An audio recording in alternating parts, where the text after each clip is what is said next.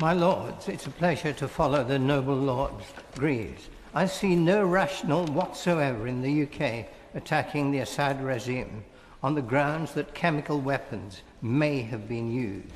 We're all horrified by TV pictures of the suffering of innocent civilians in the civil war between different religious factions.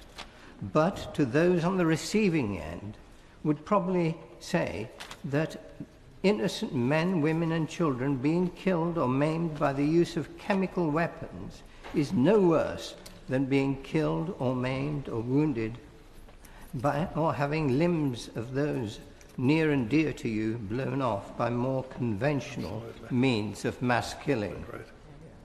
The use of even more weaponry, however tactical, will simply increase that suffering.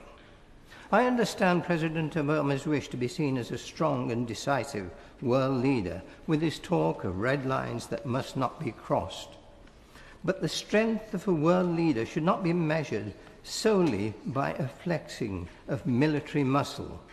There is even greater strength in looking to and promoting solutions to underlying religious conflict, both in Syria and in surrounding countries, and importantly, in working to make, make the UN truly effective. The USA is doing its image immense harm by constantly seeking to bypass the UN and act as a world policeman.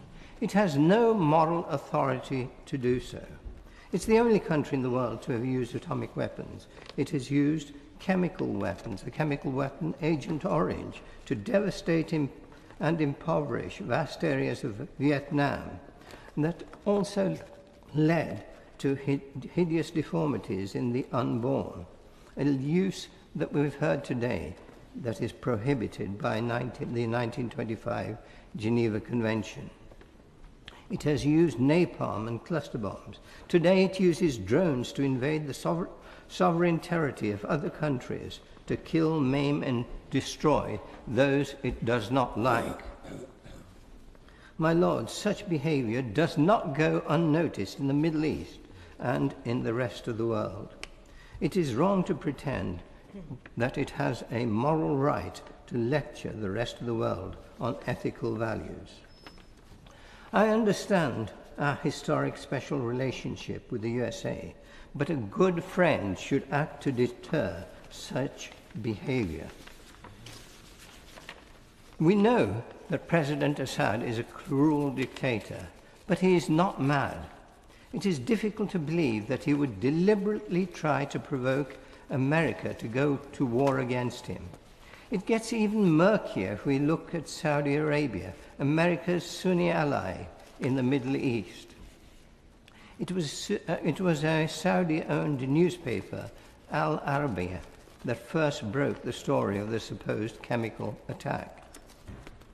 That, and it is the um, it is the Saudi government that, with the United States approval, has been supplying arms to the rebel groups.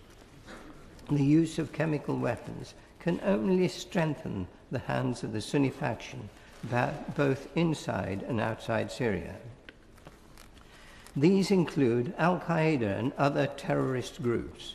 It is not in the West's interest to strengthen their hand. It is for these reasons that I oppose military action. Yeah.